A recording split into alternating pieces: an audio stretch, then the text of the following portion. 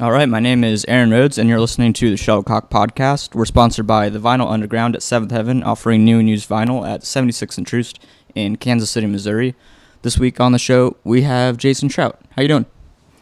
I'm pretty good. That's good. Yeah. I, I know you've had a, a little bit of a rough time today Yeah. uh, with a, a swiped Royals hat situation. yeah, exterminator came in the apartment to spray while I was at work, and he swiped my new Royals hat. So Can't trust nobody these days. no, that's Watch right. your back. Watch your hat. watch, watch your hat. Uh, no, it, is funny because one of the first things I had uh, written down to ask was about um, your Royals fandom and uh, oh yeah, how the the first single from the new 34 EP is called Wade Davis. yeah, Uh, Yeah. Even though he's a Rocky now. yeah. How how how do you he wasn't when we that? wrote that. Yeah.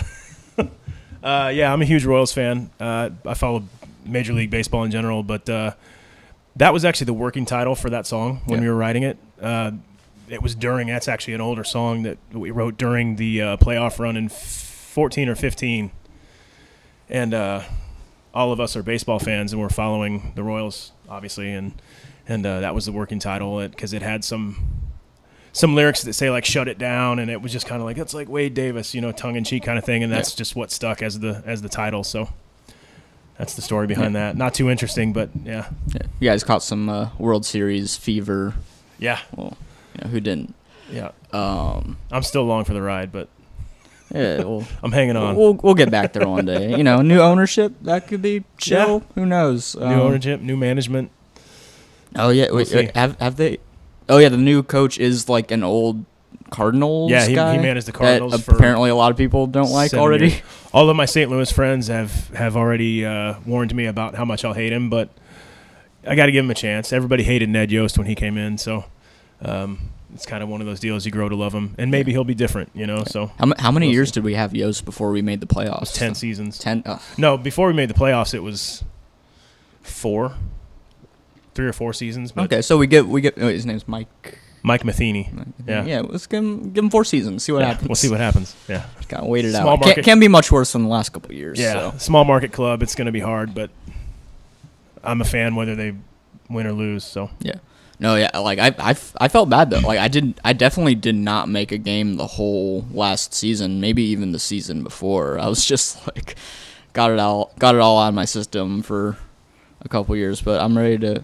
I went to, I went, I did go to one of the last T-Bones games that they had at that stadium though. Um, they actually, I heard they renewed that, or they did somebody they bailed them out of the. Okay, that's debt, good. So they're good. Yeah. oh word, But I went to a bunch of Royals games this year. Probably, well, not a bunch, half a dozen. yeah, uh, RL, who plays guitar, he's one of the guitar players in 34. He and I went and had Crown Club seats. I mean, literally right behind home plate. Yeah. It was the night that uh, where where Tech N9ne sits. Yeah, where Tech N9ne and where Florida Man or Marlin Man sits. yes, Uh, we saw Jorge Soler break a Moustakas' home run record. nice, So it was pretty cool. It was a good night. good good vibes at the K. Yeah, it was good. No, yeah, I was man, I'm gonna have to post this somewhere at some point. Maybe I'll maybe I'll use it for like an art project or something. I don't know. But I I went to the I went to that T Bones game a couple months ago with Matt from Bummer and like the, the there were like two guys sitting behind us who like were just like heckling the shit out of one of the umpires for like two minutes straight after they like messed up some call and they were like having like a conference out on the field about it and i got like a, an audio recording like a Oh, voice nice, memo yeah. of it on my phone i'm like i need to do something with this Giving umpires hell when they don't make a call that goes your way is is one of the that's like a it's a must in baseball, you Yeah. know. But yeah, it can get pretty is is is there one member of 34 that is the best uh, heckler or best to is, is, is RL good to catch a game with? RL's a great. Yeah, he's great to catch a game with. Um, his baseball love goes deep into when he was young, uh, as does our singer Brett. He loves baseball, or did love baseball, and he's kind of he's kind of on that like baseball is too long of a season, blah blah blah. But deep down, he's I can talk trivia from the '80s and '90s, you know, major league trivia with him. So yeah, he's.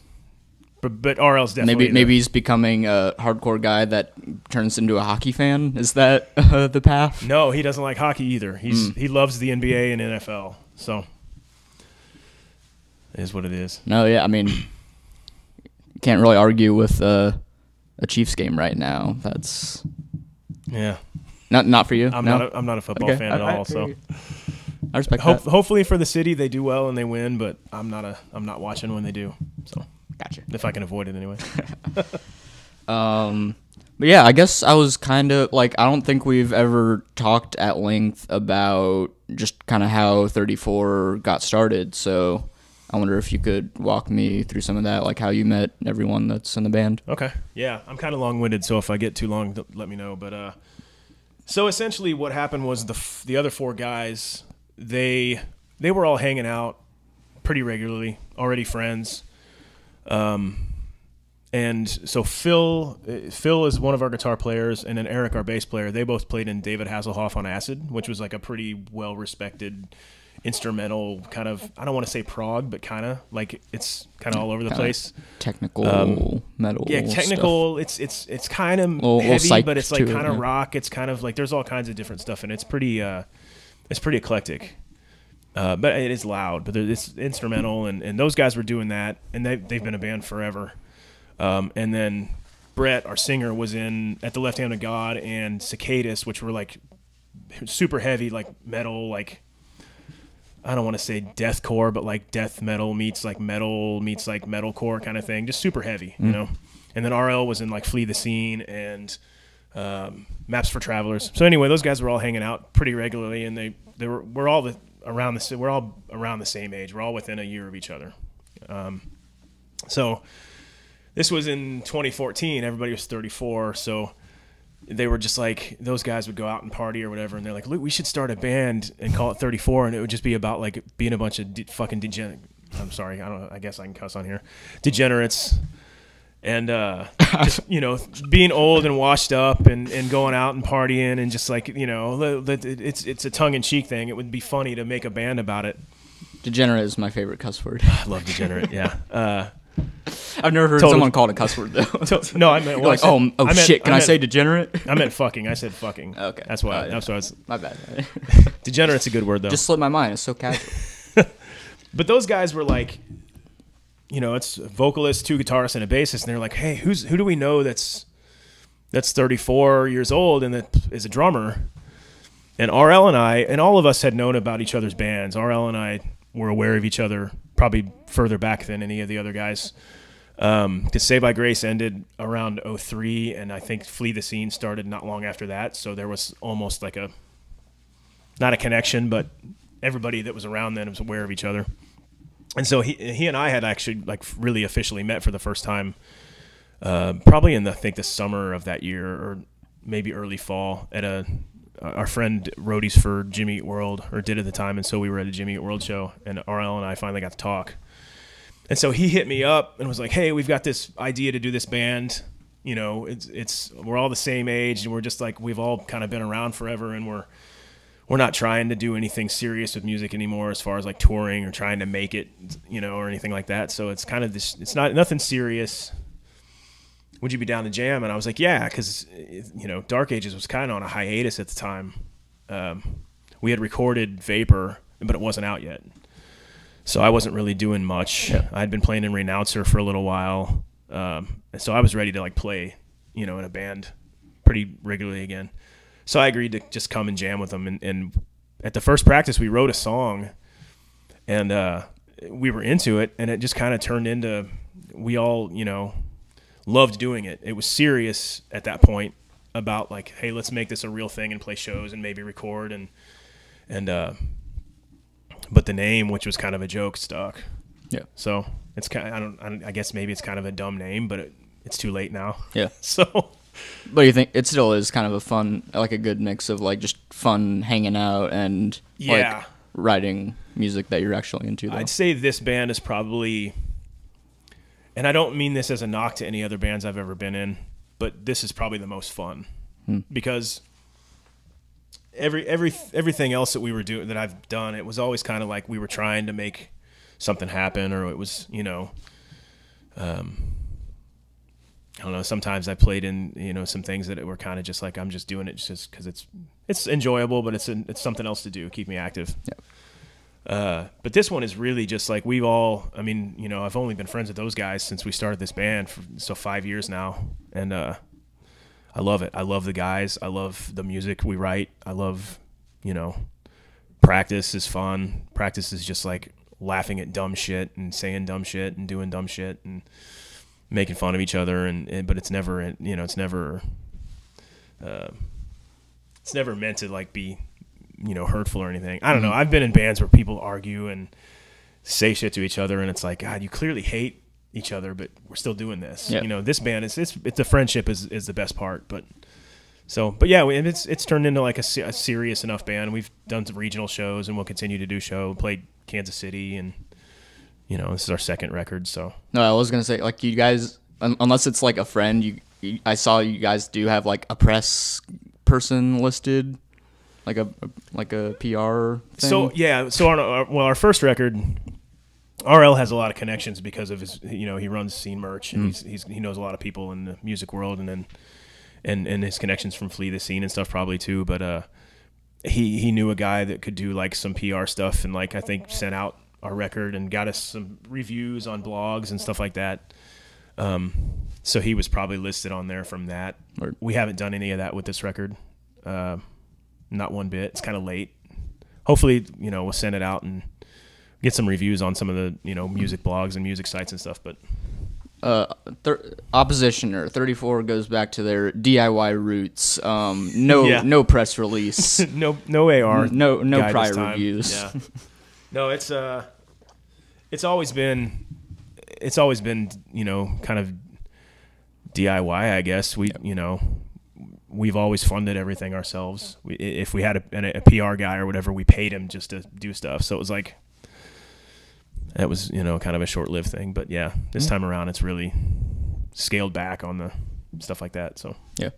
Um, so when you were first kind of getting the band together and writing the earlier songs, like, were there a lot of uh, discussions about like kind of different like sounds and dynamics you guys wanted the band to have, or was it just like people would just bringing in songs and you're like, oh, that sounds good, we'll do this and this, like, The one thing that we kind of all talked about before we jammed was that we wanted to do something heavy.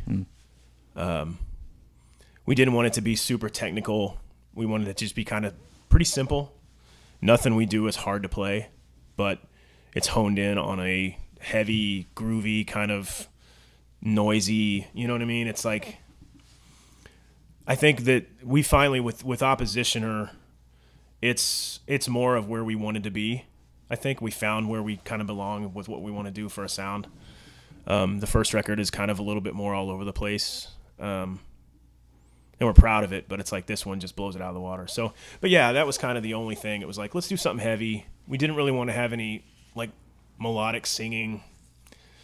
Um, you know, that's ba- that's basically it, and we've just kind of stick stuck to what you know we started doing. So. and and the the new EP is self released, or are you guys getting uh, physical copies? Yeah, it's, it's self-released. Uh, we we paid for it ourselves and had it pressed. Uh, there's no, I think on the first one we might have made up a label name to put on the back. Uh, this one doesn't even have that. But yeah, we have the. It's it's a 10 inch vinyl, a 10 inch. Um, I think it's like a yeah, it's blue. It's gonna be blue. Uh, we just did the one color. Uh, but yeah, there will be physical copies. Um, it'll come with a di- uh, digital download. There is uh, our Bandcamp, you know, so we're gonna get stuff on. Our old stuff is on, you know, iTunes and, and Spotify, so we'll get this one on there too. I think that's something that we're working on this week, Sweet. getting that up on the streaming platforms. But so yeah, it'll, it will be something you can, a physical version you can pick up and actually play, put on a record player, and you know, Oh yeah, and the the produ- production on it is really well done too. I was listening to some of the tracks recently. Who'd you who'd you guys work with on the uh, recording? Justin Mantooth at West End. Oh, cool. Um, he did our first one as well, but he uh, he just blew us away with how he made us sound on this one. I, I, I'm so happy with it. It's uh it's really a, a really full, thick recording. You know, the, you know the guitars are super heavy. Brett sounds great. The drums sound great. I mean, I it's he he, he nailed it. And Oh, yeah, and- he's recorded everything we've ever done as a band. So he's kind of uh, we we call him the honorary sixth member of the band sometimes. Yeah. You know, because he's he knows what we do. He knows how to capture that sound, and yeah, so shout out to Justin Mantooth.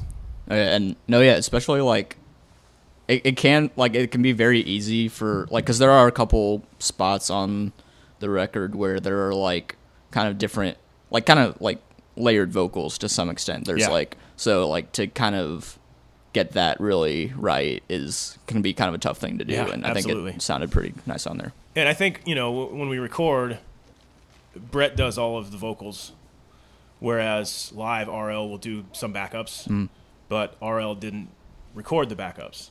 So Brett knows how to change his voice to like he was like, okay, I want the backups to be higher right here, and he did it. You know what I mean? So and and Justin was able to yeah really mix those and and and you know kind of blend them together well. He did the mixing as well. He engineered it and did the mixing. So um, yeah, Nice. he's a badass.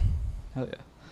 Um, yeah, I guess um, I was kind of curious um, to get your thoughts on just kind of I don't know because you played in a couple different like you could say like just metalcore bands Yeah, in like the two, like the early 2000s and I, I guess I was just kind of curious of your opinion on like I feel like in the last two or three years there's been this just really crazy um, revival of a lot of those sounds whether it's like bands like Code Orange and Vein getting really popular or even just kind of like like so that kind of heavy hardcore metalcore stuff that like is like everything on this is hardcore right now Mm-hmm. when it used to just be a little more like kind of youth crew and like straight edge focused and then even there's all these bands like SeeYouSpaceCowboy and Wristmeetrazor doing the kind of like more like MySpace era shit Yeah. too. So I don't know, do any of those bands like really catch your ear? Or, Yeah, uh, I dig uh, quite a bit of that. Um, the thing about the early, you know, late '90s, early 2000s, more so like when I was in 18V, um, that was kind of like that was the era of sing scream metalcore, which there are very few bands that I like or that ever liked that I think they can really do that well and not be like corny, you know. Um, as for what's going on now, I feel like there's a lot less of the. It's what what the bands are doing now is almost more on the it, it on the metalcore thing. It's more core than it is metal in a way, Yeah. or or more core, more hardcore than you know bands like uh, Unearth and stuff were. You know, um, I'm really into like uh, I like Sanction a lot. I like uh, I do like Knocked Loose. Um, I like some of the Code Orange stuff. Um, and some of the other bands that are doing it. Uh, Vatican is really good. Um, but I always liked, and everybody that knows me knows I love '90s hardcore. And the thing about '90s hardcore, most people just want to, you know, throw an Earth Crisis meme at me and be like, "Ooh," you know. Yeah. But like '90s hardcore was like super diverse. It was more diverse than any other era, and that's what I like it in hardcore. I like diversity. I like the fact that you know, yeah, it's kind of more. Right now, there's a strong metal influence or whatever, but I think it's cool when you can get a band like Vein, and then a band like uh, True Love, which is like a fast, Yeah. you know, kind of kind of on that American Nightmare tip, but like a little heavier at times. You know, you get bands like that and play shows together. That's what I like to see. Um, a good variety of stuff, and you know, uh, that's that's why I like that era was the all the different bands that played shows together, and we didn't really you know argue over well who was hardcore and who was metalcore and who was this and that. It was just like Boy Sets Fire was a hardcore band as was Falling Forward, as was Earth Crisis. You know what I mean? It just it's all kind of under the same umbrella to me. Um, and so I'd I'd like to see it get back to that. And I think there is there's a lot of that variety happening, but I don't know how much they're playing shows together. And Yeah. I can't speak for anywhere else, but in Kansas City, there's not a lot of mixing of shows. Yeah. So and there should be. definitely. And um, no, yeah, it's funny you say that like um, some of the newer like kind of metal core, like popular metalcore and hardcore bands like do take a little more hardcore than metal in their approach, but like and that like people would like make fun of you for like liking some 90s stuff because like the way I kind of have seen like cuz you know I I got into like DIY like punk and hardcore in like the early 10s and like around then was just like this giant like kind of 80s midwest hardcore Right, yeah. revival. And like maybe it's just because I knew those bands better than a lot of the actual 80s bands just cuz I was like going to those shows every weekend. But like I I still do probably listen to just like s- at least slightly more modern hardcore than like 80s stuff. Just because like I feel like when you're like fully like when the scene like when a certain like sound or scene has kind of died off but then there's like a revival of it somewhere like you've people have kind of ha- had the time to like take in what made those early records good and like adapt and build on those and like s like a lot of the 80s revival stuff in the 10s like a lot of these records are better than like actual 80s records even Yeah. though they have a lot of the same shit so i, I know and it's what you- almost taboo to say that. Yeah. it's it's like somebody might say you're crazy for thinking that something that was done later is better than the original, but it happens all the time. There's it, that's reality. and There's there's bands that did it later that were better, and I and I'm kind of like you in that, you know, when I got into hardcore and punk, you know, my my gateway to hardcore was like skate punk, like Pennywise and actually Green Day, uh, Kerplunk was like my gateway record.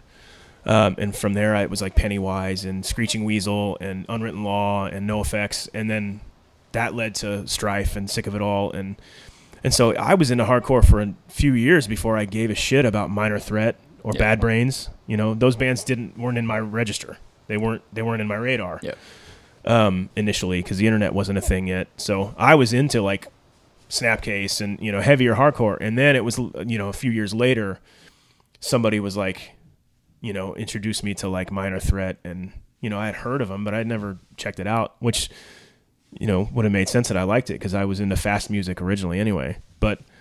I didn't go back to the original stuff till later, you know. So Uh, Kulo is better than the Ramones. Fight me. No, I'm kidding. No, that's not a real opinion. But I mean, I would respect you if that was your opinion. I feel like Kulo was the band that um, my friends the Pit that like jokingly opened with the Firestorm intro. No, I didn't. I didn't. and like just kind of made fun of it, which that's all I remember Oh, about I'm them. sorry. That, that No, probably- it's fine. Probably hurt. Earth Crisis isn't my isn't my end all be all band, so I wasn't good. I wasn't too upset about it. But that's what I remember of Kulo, if that's the right band. Maybe. That, that sounds like it could have been. uh, no, but you're talking about um, being into like skate punk and shit Yeah. when you're growing up, and I know you are you are a big uh, BMX guy. Yes, So like, are are there any bands that are more BMX than than skateboard that like rep that shit harder or was like more prominent among BMXers?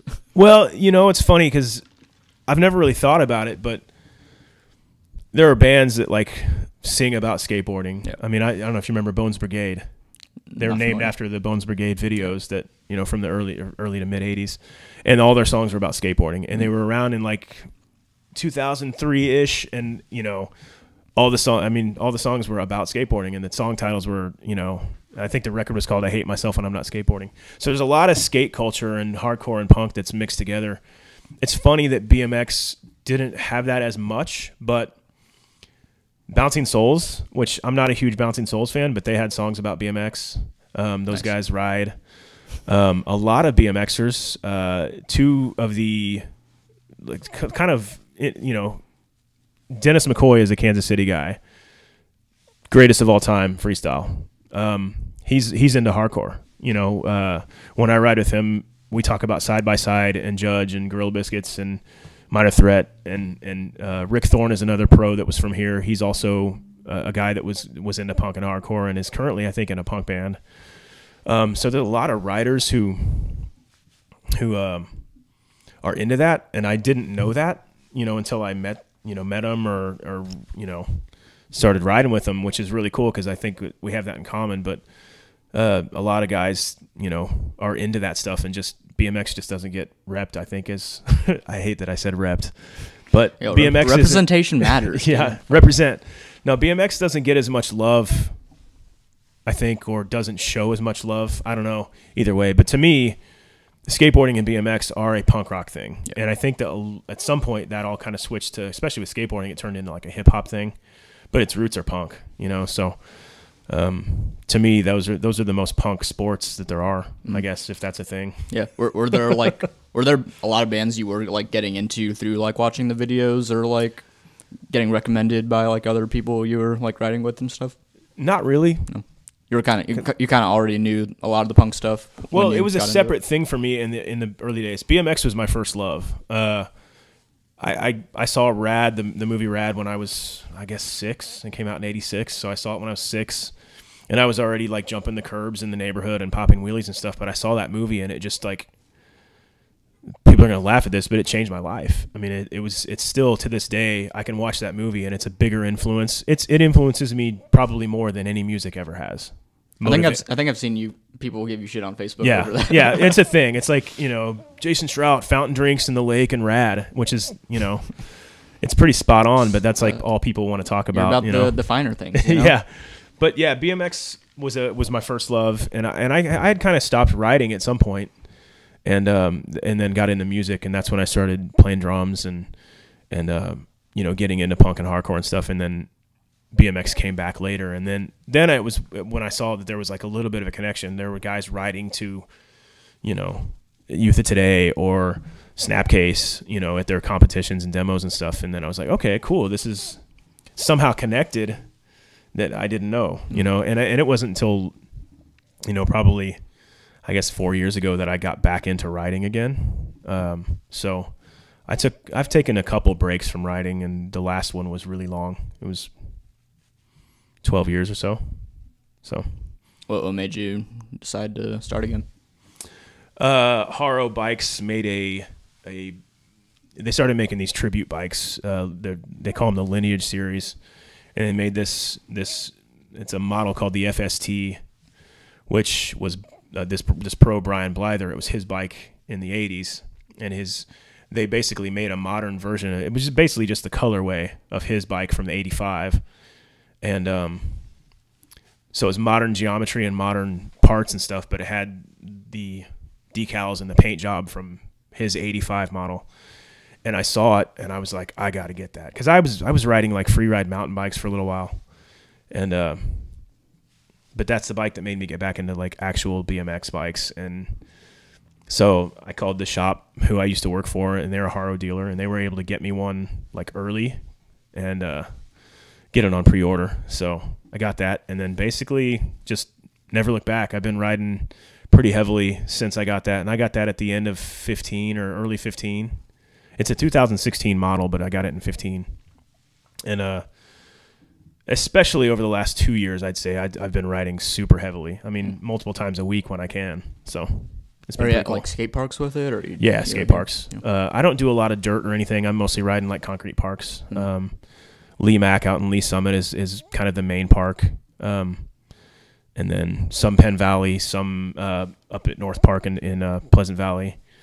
Um, and then it's just a sprinkling of some of the other parks. But I'd say 90% of the riding I do is at Lee's Summit. And that's, I mentioned Dennis McCoy earlier. That's his home park. He like helped design it. And, and uh, so with him and some other older guys, there's kind of a, an old guy BMX crew that's there pretty regularly, and I'm actually the youngest out of all of them. There's a, I'm 39, and then the next guy is 40, and then there's a couple guys in their late 40s and a couple guys in their early 50s. So, and and believe it or not, I'm the worst rider out of all of them. I mean, they're they're the old guys are killing it. So, it's uh it's been it's been pretty fun, and and and it's it's been something that reminded me of how I felt about it when I was a kid.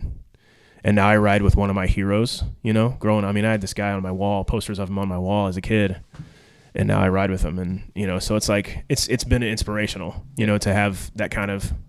And none of the guys are dicks to me because I'm not as good as them. So, I, they could have easily, you know, laughed me out of there. But it's been pretty cool. I've made a new group of friends from it, and and uh, gives me something else to to put my energy into, and and you know, be active. Yeah. So So if any uh, teenagers or twenty somethings are uh, listening to this, um, don't don't get bummed out and quit your shit or whatever you're doing. You'll probably be hanging out with your heroes when you're 39, Yeah, it's and possible. it'll be really cool. You'll be in your old guy rock band and ride with your old guy BMX crew.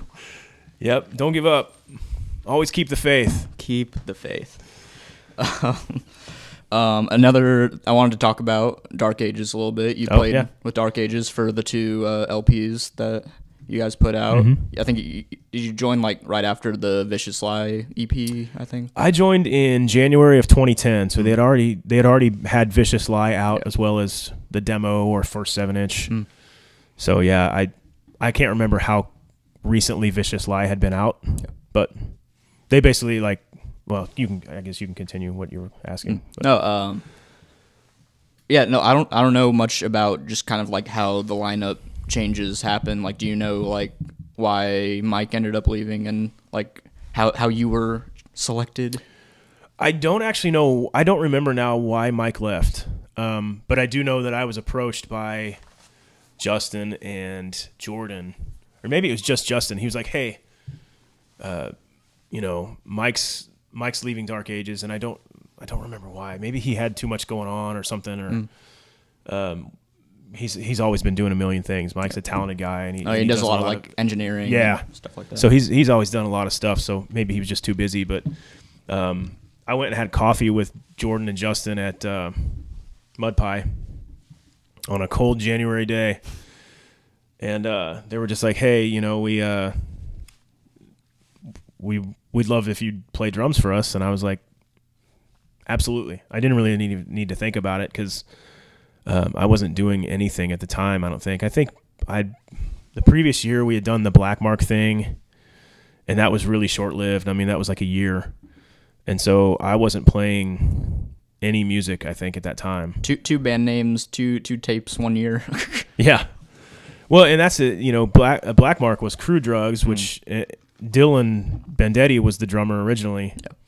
Um, and they wanted to switch to two guitars. Uh, so that's when I got brought in to do that, and I played on the wrecked seven inch, which is all I did with them. And then that was like the last thing, and then we broke up. But uh, so I was not playing in any bands, and, and they, you know, Dark Ages wanted, and I had seen them a bunch, and I knew the guys and stuff, and I liked what they were doing. So, um, I I was like, yeah, absolutely, you know, let's do this. And so they had, I think they had some stuff they recorded at practice to, to kind of give me an idea of what they were, the direction they were going in. And uh, we just immediately kind of started writing stuff and playing shows. I think my first show with them was with Zero Boys at the record bar, which was really cool for a first show. Um, and that was probably like in Ma- March, I'd say, or March or April of 2010, probably. Um, and yeah, it was, you know, uh, actually my first show because Ben Smith was the bass player and Ben was quitting too, but Ben actually played. Ben's last show was my first show. Yeah. So we played one show with me and Ben and Jordan and Justin, and then got Neil to play bass. Word. And uh, and it was cool because Neil and I had we had jammed at the at the storage mart like what was that called? We were gonna do a band, and it was kind of it was kind of rocky punk stuff, and and uh, it just didn't end up happening. Mm. And so I was stoked to, that you know we got Neil. I was stoked to play in a band with Neil. Neil's super talented too. So um, yeah, that was cool. I loved being in that band. That's um, those two LPs that I played on were, you know, I mean, I'm really proud of them. I'm really proud of my playing on them. I'm really proud of the songs. I think the records sound really good for what they are, Yeah. uh, like production wise and stuff. So yeah, it was really cool being able to to do that. And it was five years. Mm. I think that's the longest I've ever been in one band. You know, so um, it was cool. Yeah. Yeah, and I wanted to like I was kind of thinking though like um I don't know that probably was like like has been like the most kind of like punk oriented project like band that you've been in at least for like cuz you know a lot of a lot of the stuff has been like kind of heavier hardcore Yeah. oriented like so I, I was kind of and you know Mike has a, a bit more of a punk background than than you do and like Right. So like I was kind of wondering if it took any like kind of adjusting at all at the beginning to like play like kind of a faster, more like punk oriented style. Well, oddly enough, it, was easy for me because although I, uh, you know, all of my other bands were heavier hardcore bands, uh, Time to Believe was a youth crew kind of band, so it was fast. Um, but my biggest influences drumming wise when I started were uh, skate punk bands. Mm. Uh, Strung Out, Lagwagon, No Use for a Name. You are uh, KC's foremost strung out fan. Uh, dude, I'm, I'm, yeah, I'm, I'm. A, that's my favorite. It's not even my favorite band in the world. That doesn't do it justice. I love that band more than anything. Um, I don't know what it. I don't know what the connection that I have with with the music and and everything about it is. I can't. Ext- I can't describe it. Um, so that yeah, that's my favorite band. Their drummer, uh, well, they have a new drummer now, but the drummer that I grew up idolizing is a total ripper. And so, you know, between him and Pennywise and all those bands, like I was when I was playing drums by myself at home, I was playing fast stuff. Yep. Um, and that's where all of the, the stuff I did with Dark Ages, uh, it's all influenced by skate punk Yep. drummers that the good skate punk drummers that you know could play. Um, I was I was stealing a lot of stuff from those guys. Um, so it, it came pretty natural to me to play fast. Mm. It, it took it took a little bit of adjusting as far as like stamina in a show. Yeah. Um, but you know, I mean, shoot, that I was younger then. I was almost ten years ago, and and I was in better shape, so it wasn't that hard. Uh, playing Dark Ages songs now would be really hard, probably fit like physically, just because I'm out of shape. But um, yeah, no, it was a it was an easy transition for me to do that, and I was really stoked to. I think that's one of the reasons that that I was so into it is because it was. I think what I did by bringing those influences in to the drumming, which didn't really affect anything else in the sound, but I think it gave us a almost progressive kind of thing, like a weird progressive kind of tip to it that um, that probably wasn't there before. Um, Mike was more of a straightforward drummer, uh, and Mike, you know, Mike can play like twenty instruments. You know, he's it's, I'm jealous of stuff like that, but but he was more of a straightforward drummer. So I was I was in there to kind of change it up a little bit and Yeah. make it weird, Definitely. maybe. I don't know.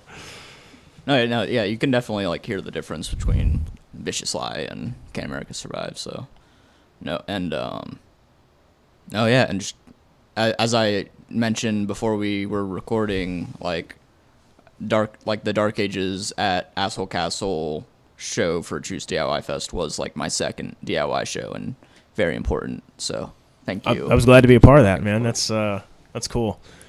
I uh, I remember some vivid moments from that fest, and then I've forgotten some things, but it was it was chaos. Yeah. So that was a good way for you to be introduced to I think so. To this whole thing. And a lot of a lot of uh, mixed bills on that, and a lot of cool like Yeah. screamo bands playing with hardcore bands playing with garage and punk Yeah. stuff. So Well, and Dark Ages played with like, I think we played with some doomier bands quite a few times, mm, and I think you know now if you if you have a show that's like that, if it's like a doom band or something, it's pretty much you you know it's going to be like Inner Altar playing or Keith Mountain. I don't think these days they would ask a punk band to do it. Yeah. So I think that was cool that you know we were able to do stuff like that. But oh, and that reminded me. Um, the thing I mentioned earlier was um, I saw today when I was getting my questions ready and everything. Um, I saw the El Torreon cage match video. With Oh, yeah. Saved by Grace and Sister Mary Rottencrotch Yeah. going like back to back, in in a cage built on the stage at El Torreon. yeah, what they did was they put a they put a just a one one line of fence at the very front of the stage, and the stage there was in a corner.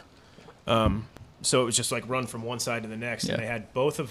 This was actually a, sh- a whole show. Yeah. Uh, I don't remember if it was six or eight bands, but us and Sister Mary were the headlining bout, I guess, and we were both set up on stage at the same time, and uh, yeah, we would play a couple songs, and then they'd play a couple songs, and then we'd play a couple songs, and yeah, No, that was cool. That that fence looked like it was like impressively well built. Like there were people like climbing up it to Yeah. like sing along and stuff. I'm like, how did nobody just like knock the whole thing over and die? There was actually either barbed wire or slice wire on the top. yeah, I saw that. I'm like, someone's gonna cut their shit open. I don't know if that was a Brian Baum who had something to do with because Brian was running the El Torreon then. I don't know if he had something to do with building the fence, but maybe if he hears this, he can he can let us know uh, what was the uh, you know what was behind constructing that because it was sturdy. yeah, And you know our singer Josh when he's climbing up, he's he was a little dude, but still, there's you know, I'm pretty sure Brett Ray's climbing up it at one point, and so it, yeah, it was holding some weight. Do, do you remember? Like, I don't. Maybe it said in the video description or something. But do you remember any of the other like duo, like band duos that were on that? I do. There was, uh, man, it, so it was us and Sister Mary Rotten Crotch, Yeah. Punchline and Tanka Ray, and then, oh god, uh, Ben Byers Smith's band with Brett Ray. Uh, God, what were they called? Uh, I'm, I'm blanking, but there was. I, I want to say now that there was there was three. Mm. There was three bouts, so six bands. Nice. Um, and I can't remember the name of the the first bands, but I'm pretty sure Tank Array and Punchline were the second bout. So there was like an opening Yeah. thing, and then yeah, but I can't remember who at this point. But I the flyer is somewhere, Yeah. and I've seen it this year, but I just can't remember who it is. Sound sounds like a classic gig. Yeah, it was cool. I mean that, and that's the thing is you know El Torreon at the time, especially because you know Brian was like booking all the shows pretty much, and eh, or the majority of the shows anyway, and and they were down to do stuff like that. There was a lot of mixed shows. I mean, that's not the first time we played with with punk bands or you know, because uh, to me to us it wasn't really. I mean, punk and hardcore come from the same place. Even though we were more of a metallic hardcore band or metalcore band, it was it all came we all grew up listening to punk and, and hardcore so it was like you know come from the same place we just didn't have mohawks and stuff so yeah. Who needs them? i don't know does anybody in 2019 I, I hope not. Okay, and you also like kind of like on and off. You've spent time playing in trial, right? yeah uh, i've done a full tour and then uh, so that was in 2012 and then they they did some other things after that that they wanted me to do with them but it was like that first tour i did with them in 2012 it was a west coast tour it was like two two or three weeks and uh, i had spent all my vacation time doing that from Yeah. work and so they did another us t- like east coast tour or something it was like the other half of the country um, that they didn't cover on that first tour that year um, I wasn't able to do that, and then there's been a couple other things, and then last year I was finally able to do another show with them uh, at New Age Records 30th anniversary deal, and uh, that was cool. And they, I mean, yeah, I pretty much have. If they want to do anything, they they have expressed that they'd like me to be the guy. So, as long as I'm able to do it, um, then I'll do it. You know, and it's usually like it's you know we'll fly you out somewhere and we'll practice for a couple days and then we'll go play a show and Yeah. if it doesn't cost me a bunch of money and and you know so Yeah, i'm always down to do it How'd you first meet those guys? i had met tim actually i'd met i'd met them just you know saying hello i went to the first reunion um, back in 2005 they, they played a reunion show at Neumos in seattle and it was the first time they had played since they broke up in 2000 or 99 and the one time they played in this area or they, they actually played here a couple times i think but they played at i want to say they played daily grind in like 95 or 96 and i wasn't at that show. And then they played out in lawrence at uh, this dude big john. John momberg his dad let him do shows at his church. So there was like this one summer there was like bane played there like saves the day fast break. I think 10 yard fight played there. Uh, so it was like a bunch of good shows but trial uh, played there and i wasn't at that show either. I still have the flyer. I missed the show. And uh, so I I had not seen Trial ever until the reunion in 05 and they're they were one of my favorite bands of all time. I mean, the Are These Are These Our Lives LP is is a masterpiece, uh, lyrically, musically, and the way the the order the songs are in. I mean, to me, it's just it's a flawless record. And um, I had met my girlfriend at the time, the ex girlfriend, you know, from from when I was in 18 Visions. She had met Tim somehow, and so I had kind of gotten to know Tim a little bit through through her and then we kind of stayed in touch and then tim did a band called wait in vain uh, around 08 09 and was like hey move out to seattle and play in this band you know and i'm like i, ju- I had just you know uh, the whole 18v thing has, had, had passed and i was just like working a job and kind of like living a regular life and i was like man i don't know if i want to move for a hardcore band again or a band and uh, but he kept kind of bugging me about it and i just ended up not doing it and uh, so then they hit me up again, and and we just stayed in touch. They hit me up again in 2012 about that tour, and we're like, hey, you know, we're gonna do this West Coast tour. Please do it. I'm like, finally, yeah, I'll be. I think I'll be able to do it. You know, so I ended up doing that, and and ever since then, it's kind of been like, like I said, I, I've had to sit down. a- I sit out on a few things because I only have so much vacation time at work, and uh, I have a good career now, so I'm not going to quit my job to play a reunion tour or something. So I do it when I can, and it's it's been awesome. Uh, last year was a pretty cool show. We played that that New Age Thirty thing was like a a bunch of bands I grew up loving, and you know, and then Yeah, they, who else was on that? I remember hearing about that. Show. Oh god, it was like we we actually headlined, but so like the last it was a full day. The last like six bands or seven bands was like Countervail, uh, m- like Chorus of Disapproval, Mean Season, Mouthpiece, Strife, and then there was all these like current bands that played like leading up to that. So like Red Bait from St. Louis, who is awesome and uh, great friends. They played, they killed it. Uh, uh, I think restraining order. Yeah, restraining order played. I mean, God, it was like thirty bands. Mm. And, was uh, Jacob with them on that tour? No, he wasn't there. Um, but they were awesome. They, I think it was them that did a Bad Brains cover, and like it was. It, if you do a Bad Brains cover, you're treading sacred ground, and you really better Yeah. Kick ass on it, you know. And they just nailed it. I mean, it was. I my hair standing up talking about it. It was. They they were fucking awesome.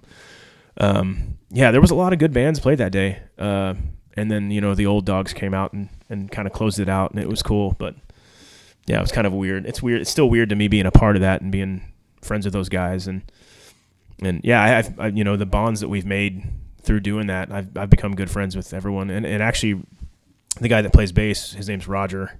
He used to play in like Love Is Red and Sinking Ships, and so I know Roger from Love Is Red. Saved by Grace and Love Is Red were on the same label and started around the same time, and I had actually played drums for them on a tour that they did with us.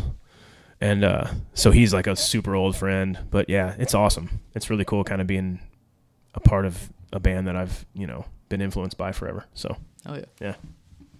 Um, I think that's most of what I had for you. Um, where yeah, when when does uh, the new 34 record come out, and where can people find it and everything, and follow you guys? Uh, December sixth is the the release date as well as the record release show. Um, that's at Riot Room with uh, Hyborian and our friends from Omaha called Pro Magnum, and then Crisis Actor is also playing. Um, so that's it. Yeah, Riot Room, December sixth. Um, that'll be the best place to to get physical copies is as far as that day. Mhm. Um, we already have the records in hand, so they will be there. Um, and then, you know, our it'll be on our Bandcamp.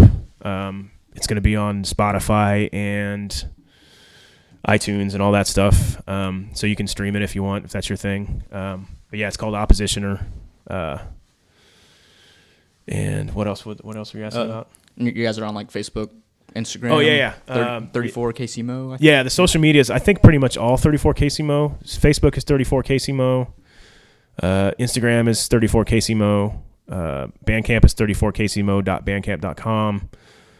I think our Twitter, which we don't haven't used for two years, is 34 KCMO. The only thing that's not 34 KCMO, I think, is our YouTube, which is like 34 band KC. It's something stupid that it's like off, but yeah, you can see like we have it's like lyric videos and like whatever music videos we've done are on there. Sweet. So yeah, that's how you can get a hold of us. Awesome. Uh, yeah, and people can follow at Shuttlecock Mag on Facebook, Twitter, and Instagram. Visit shuttlecockmusic.com for all the articles. Subscribe to the newsletter. Um, shuttlecockmag.bigcartel.com is where you can get zines and buttons. Uh, we'll have new T-shirts on there soon. Uh, we'll be at the. Uh, I think we'll have new shirts at. Oh yeah, there's the button there. It's Awesome. big. Yeah, big, stu- stupid big button. I think three inches, I think. Um, yeah, well, I'll have new T-shirts for. Um, I think we'll have them at the Oddities Expo and Open House that is early December as well. So that'll be cool. And um, check out the Facebook events tab for. We have like four or five shows booked this winter. Chubby and the Gang from the United Kingdom is coming. Very cool British oi band playing at the Parker House. Then just a bunch of other cool rock shows. But yeah, I appreciate you being on the show today, Jason. I appreciate you having me, man. It was cool. for sure. All right. Right on, man. See you, see you later. you get the fuck out. Get out of here.